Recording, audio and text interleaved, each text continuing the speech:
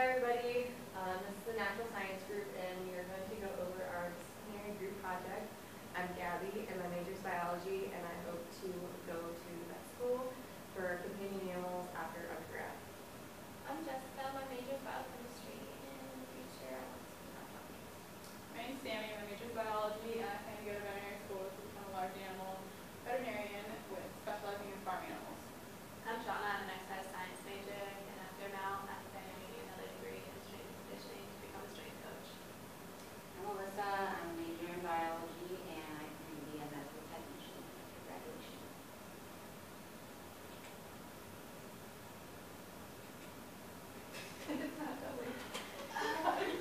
Oh my god. What is